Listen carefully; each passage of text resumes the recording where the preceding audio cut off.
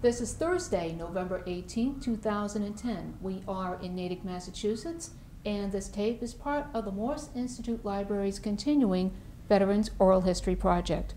My name is Maureen Sullivan. Our cameraman is Dan McDermott. We are privileged to have with us today Charlotte Lastnik. Welcome, Charlotte. Thank you. Uh, may I ask where you were born?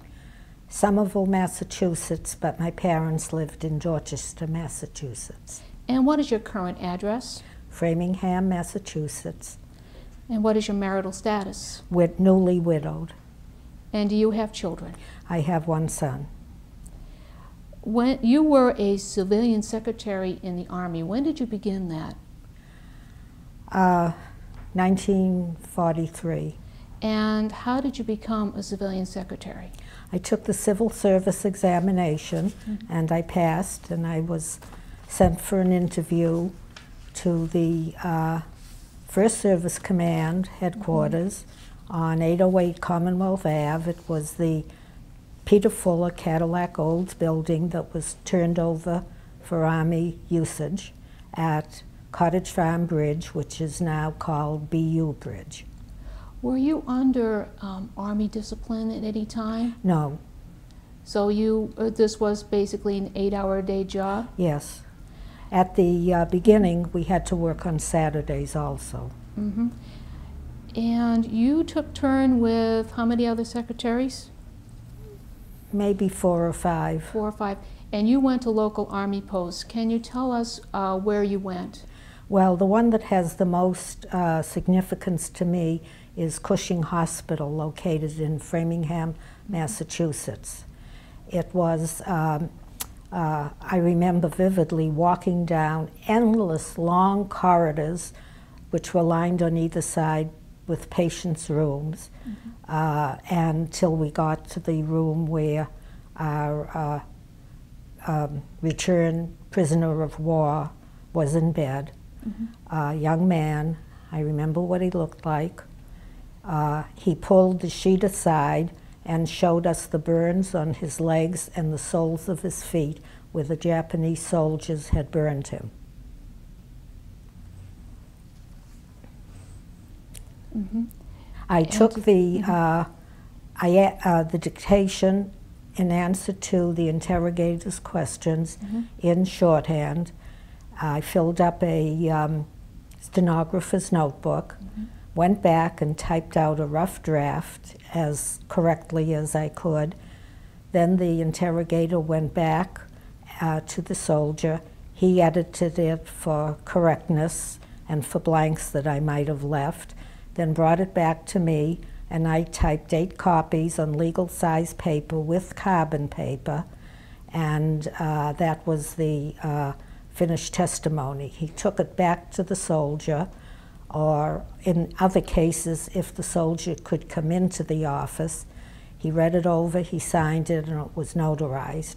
And I believe all these different interviews were used in the Nuremberg war crimes trials. Do you remember how many prisoners you interviewed or at least took down the um, interrogation information? Maybe about five or six. Five or six.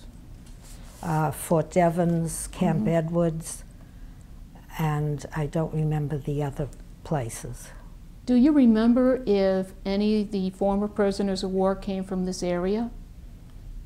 No, I don't. And what else happened um, with you during the war? Did you go to USO shows? Yes, Okay, I went to USO uh, dances uh, where we met and talked with the uh, so, uh, servicemen. Mhm. Uh, this was around Boston.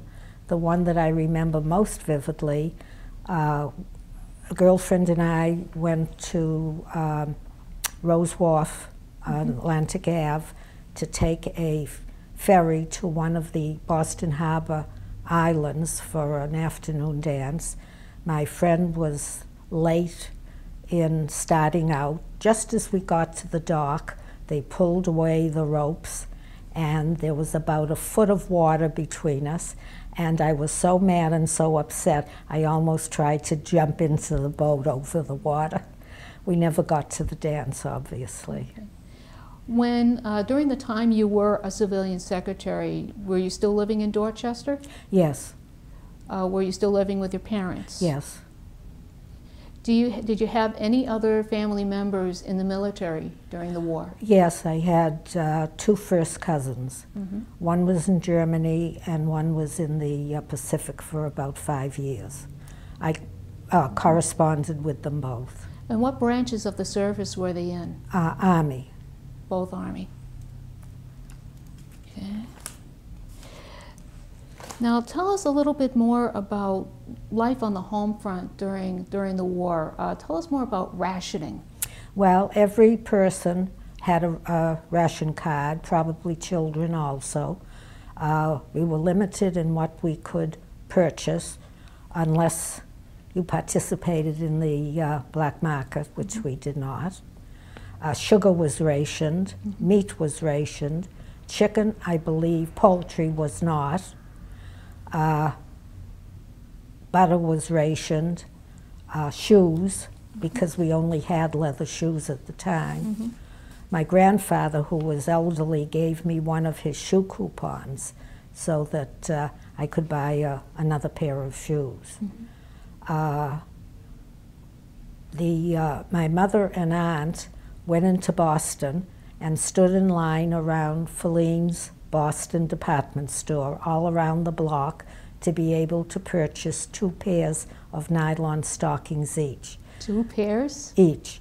The nylon was being used for parachutes Mhm. and limited for civilian uh, manufacturing. And otherwise, women wore cotton lisle stockings, Mhm.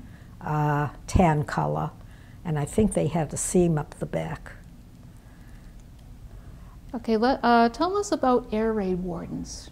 Well, a cousin of mine was an air raid warden. Each little neighborhood had one. He um, walked around the block with a helmet and he had some sort of a pail. I don't know whether it was for fire or cigarette butts or what, and a flashlight. Uh, all our windows in our home had to be uh, uh, covered with black cloth so that no light would shine through. Uh, Oh, there was also gas rationing Mhm. uh, for cars. There was A, B, and C. My father had a B sticker, which gave him permission to buy a little more gas as he used it for business. A st- uh, sticker was mainly for the Sunday drivers, and C was for those in more um, uh, required occupations. And then people did buy gas on the black market.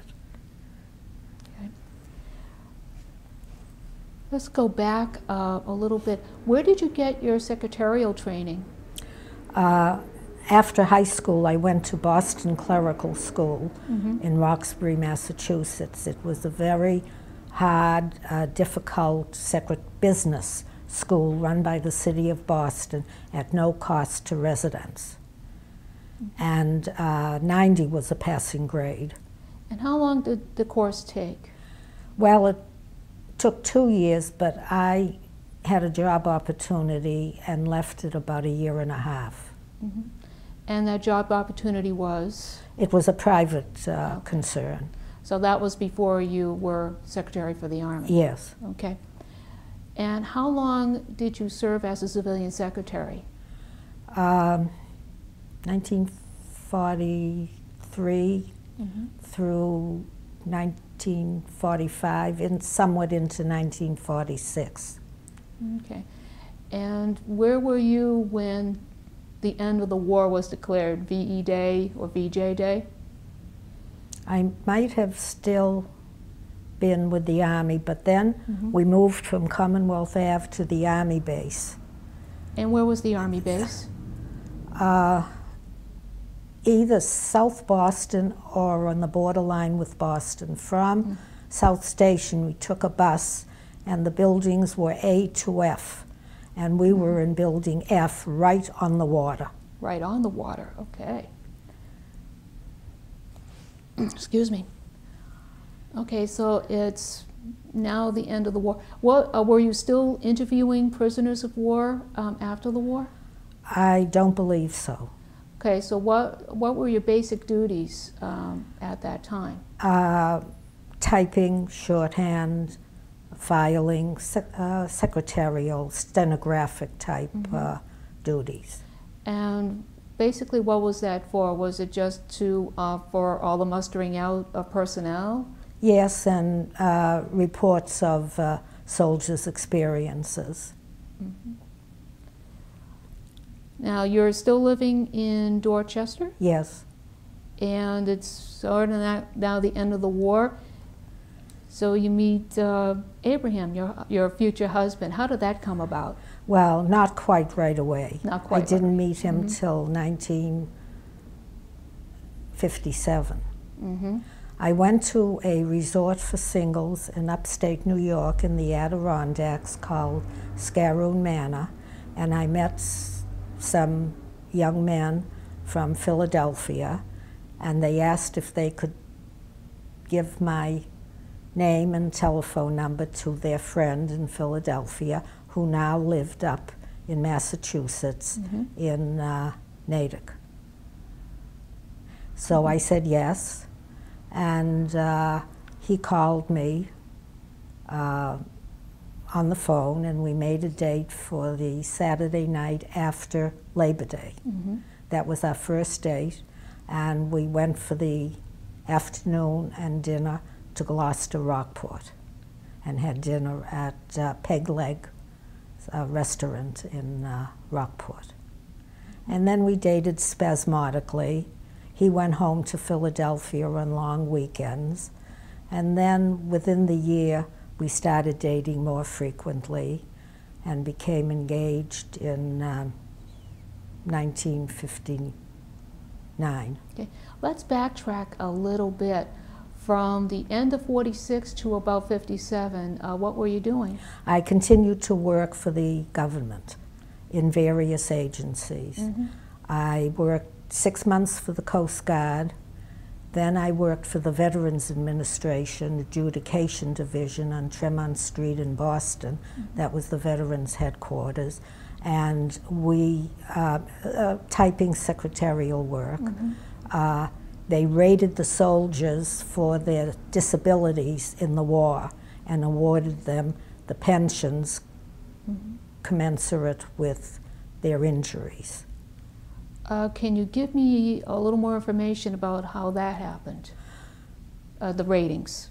Uh, well, the, they filed applications for disabilities, and uh, most of the uh, higher level people were lawyers, and uh, they read over their experiences and their medical records and what their combat injuries were and the residues, and then the board uh, rated them according to government guidelines, and they received compensation according to their percentage of disability.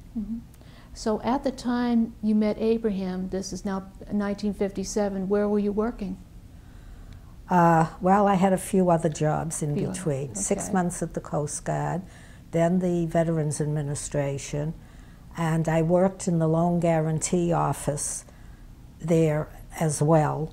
And there, the servicemen were entitled to a, um, a loan guarantee at a lower rate of interest to purchase a home. hmm And when we bought our home, the paperwork went through very fast because I had a friend wor- still working in that office and she pushed the papers through quickly.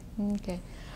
Uh, after that, uh, oh, after the re- that was the loan guarantee office. Then I went to work for the adjudication. I was there a year, uh, and then I changed jobs for a promotion in grade and salary, and went to work for the renegotiation board.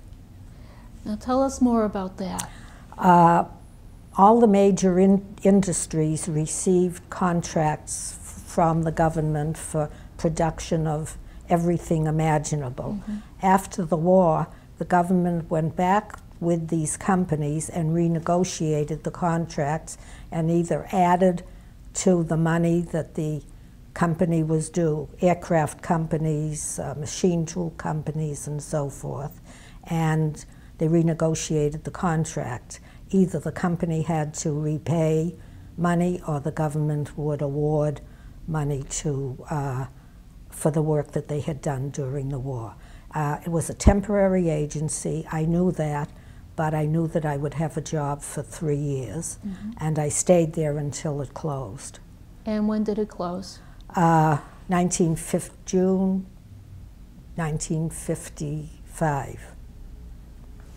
And what did you do after that? I believe I had another temporary job, and then I was hired by the regional post office department. Not the Boston post office, but the regional that took care of all New England states as secretary to the uh, space requirements officer. They uh, evaluated post offices that needed rebuilding or renovating or expansion. And I stayed there until uh, a few months after I was married. Okay. So now let's talk about your husband, Abraham. All right? And he was, of course, a World War II veteran in the Army. Let's show a picture of, of him in his younger days. Now, um, how long was Abraham in the Army? Well, I believe it was under two years. Under two years. Uh, from 1943? Three to 45. Uh, after the bomb w- bombs were dropped in Japan, uh, he was in on a ship coming home for a 30-day leave, due to be in the second wave invading Tokyo Bay. So he never went overseas again, but he went to several different uh, camps and posts in this country. Okay. But before he was on that ship, uh, he was in Europe. Yes. And what parts of Europe? uh, landed in France through Belgium into Germany in what was called the Battle of famous Battle of the Bulge and the bridge at Remagen. And he always said that if we went back to Germany, everyone who did as a civilian wanted to quote pee in the Rhine. Oh dear. Now, uh, what unit did he serve with? uh, the 9th Armored Division. He was a tanker because of his mechanical ability. Mm-hmm. Uh, he had previously, before he was uh, inducted, he worked for the government as a mechanic on aircraft engines, and that's why he didn't go in until later in the war. Okay. And your husband was a real camera bug, wasn't he? Because you brought along this marvelous little scrapbook of items. Let's just gonna see if you can show off some of his camera work here. There we are. Some uh, very detailed uh, shots of him while he was stationed in Europe, uh, pl- people, places, and things. Let's just. And that's him right down there. Lower. And he has everything marked and tagged And dated. and dated. Excellent. There we are. Just take that back for a moment. So, according to his discharge papers, he was um, out of Indiana in 1946. What did he do after the war? Uh, various jobs. He was sort of, um, I won't use the word conniver, but he was enterprising. Uh, they offered him a job as a cook, which he turned down. He liked to eat, and he would have been a good cook, but he didn't want to be cooking. Uh, he got um, uh, clerical assignments, typing up in the uh, offices at the camp. And I guess that's most of what he did until he was discharged. He was in places in um, uh, Missouri, I believe, possibly the South. I understand that uh, he came up, um, help establish Natick Labs. Tell us more about that. Well, he worked for the government. Uh, he went from mechanical work to laboratory work. Oh, at this time, before the war and after, he went to Temple University at night Mhm. and um, worked during the day and uh, gave his mother his paycheck because the family needed the money Mhm. and uh, as a chemist. As a chemist. And then he seemed to have changed. Oh, I believe due to the chemistry background, he was transferred into the Natick Quartermaster Laboratory, which was paperwork. And what, uh, around what year was that? Uh, in the early 50s, So this is when uh, Natick Labs was first established.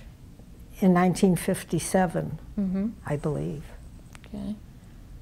And he was offered a job up here in Natick, Mass at the Natick Labs. It's had various names since then, Soldier Services. Uh, they, um, I believe, closed uh, Washington office. They came up here, and the Philadelphia Quartermaster office came up here and established the Soldiers Center here in Natick. Okay.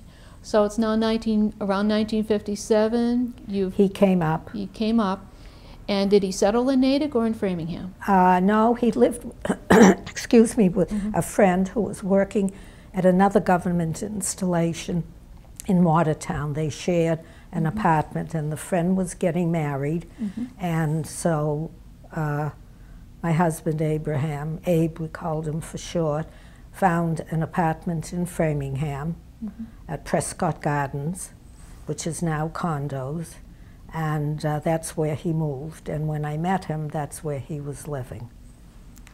Okay. And you were still living in Dorchester. Yes, So you were uh, you were dating Abe, and were you both still involved in government work at that Uh, time? yes. Yes. yes. I stayed with the government until a few months after we were married. Mhm. Okay. That was in uh, May 28th, 1960.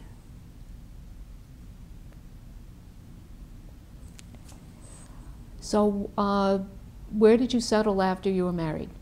Well, we lived with my f- mother was no longer living. Mhm. We lived with my father in Dorchester. We owned a multifamily house, and we started looking for a home out in the western suburbs. We looked in Newton, and that wasn't possible, and neither was Wellesley. We looked in Natick, and then, quite by chance, we came across this development in Framingham, uh, which were newly built houses. Coincidentally, we went to a uh, New Year's Eve party around the corner from where we're living now, and our car died in front of the empty lot, which later became our house. Talk about fate. And uh, it was uh, part of a development, but we had uh, cho- um, complete choice of uh, um, figures and colors and so forth. And it became like a custom-made house. so did Abe continue uh, working at Natick Labs? Yes. He did have some offers to go into private industry, but he turned them down. Um, I didn't want to leave this area because my father was living, and he had a lot of years invested in government work, which would lead to his retirement. So he continued live, uh, working as a chemist at the labs? Actually, no, he became a design engineer because of his engineering and mechanical building. Uh, he worked in the section uh, where he was responsible for upper body, uh, head, face, and chest protection for the soldier. He, uh, they worked on helmets, eye protection, ear protection, face, chest, armored vests. He has 12 patents for his work, but he doesn't collect any royalties because at the time they weren't giving royalties for patents. Now I believe they are. So he has the patent frame, but no money. Uh, he uh, worked on, uh, he jumped into ice water. He would never let a soldier take the equipment unless he had tested it first. He also did some work up on Mount Washington uh, in the weather station there. He would go up for a few days at a time, and that may have been where he jumped into the ice water to test the equipment. He also has a patent with for a face mask with Sir Hubert Wilkins, who was a well-known Arctic or Antarctic explorer, and they worked on a face mask uh, to protect the soldiers. And he has a patent there, and we have one of the face masks at home. So, in, while he's working at the labs, uh, you were actually raising a child. Uh, when was your son born? Uh, 1965, And his name is? Stephen Lawrence. And what's he doing now? Uh, freelance uh, copywriting and uh, copy uh, writing and editing Uh-huh. and copy editing. Now, did you or your husband join any veterans organizations? Uh, I didn't, and he wasn't um, uh, inclined to. He also fought on his own and was able to get compensation for a hearing loss that uh, became more severe as time went on. He says that in the tank, the noise of the tank was very sharp.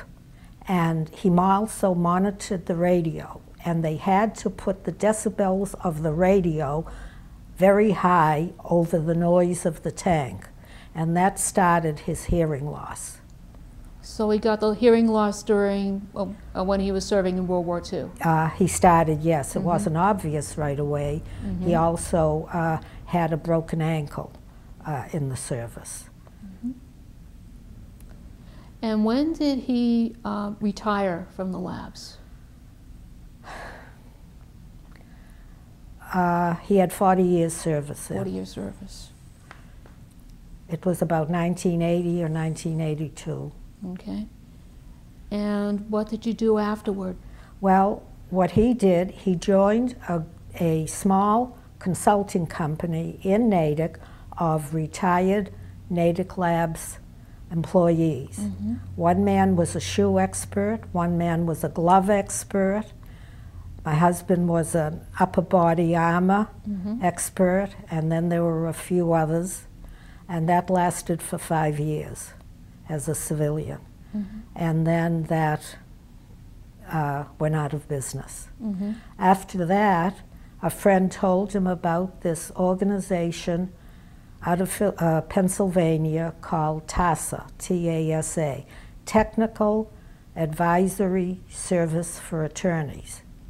And he went on their roster uh, in his field, which was eye, head, face, ears, upper body protection, and worked as a um, uh, technical advisor to attorneys handling these lawsuits.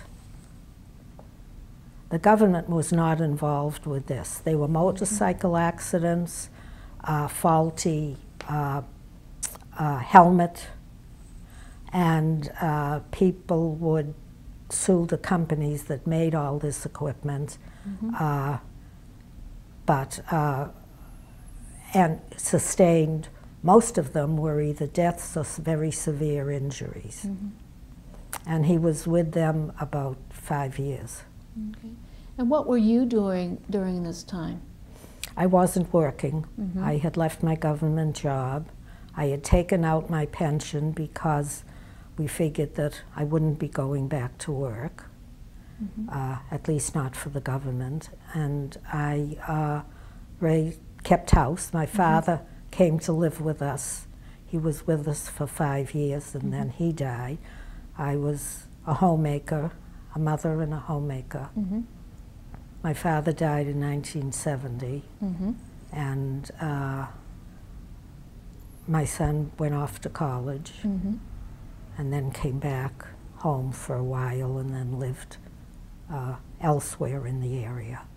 Okay. As my understanding, your husband recently passed away. Yes. Yes, and it's very, our condolences for the Thank you. loss.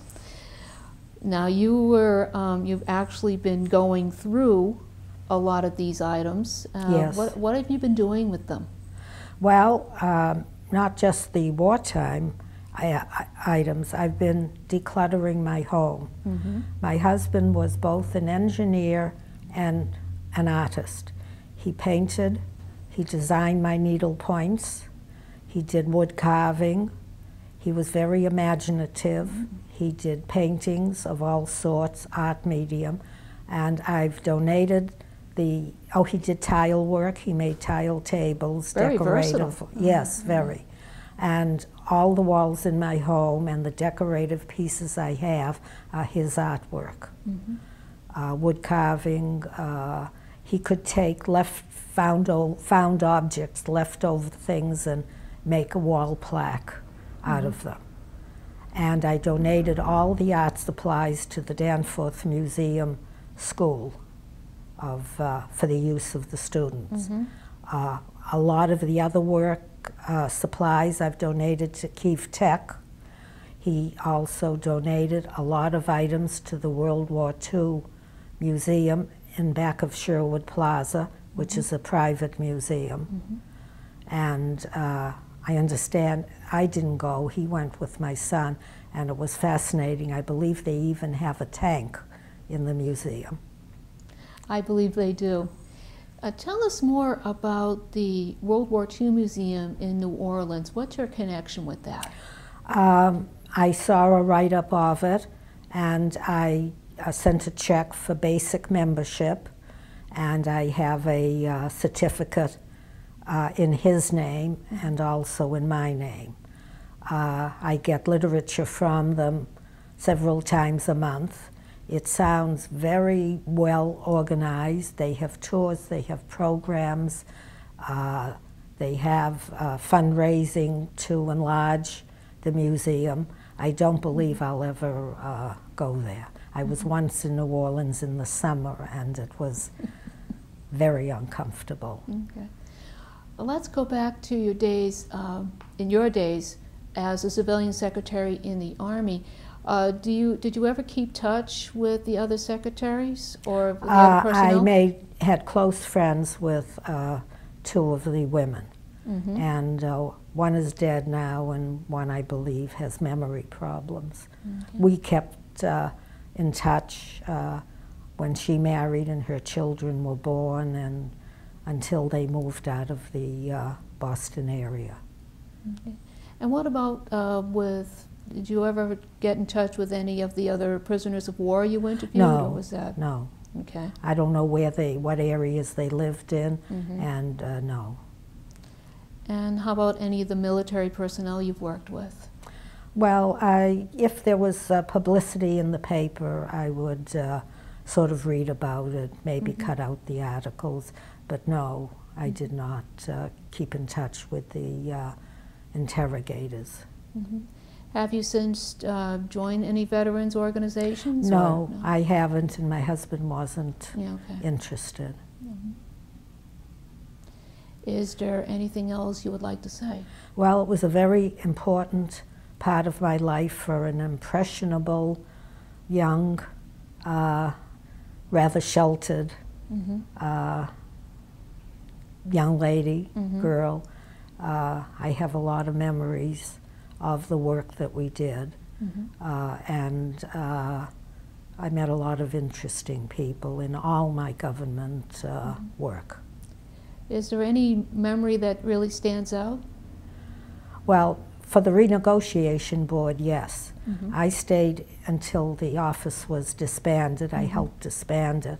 And then I heard from my boss, head of the section, uh, for possibly 20 years. I would get a birthday card and a holiday card. Mhm. And I believe the other ladies did also.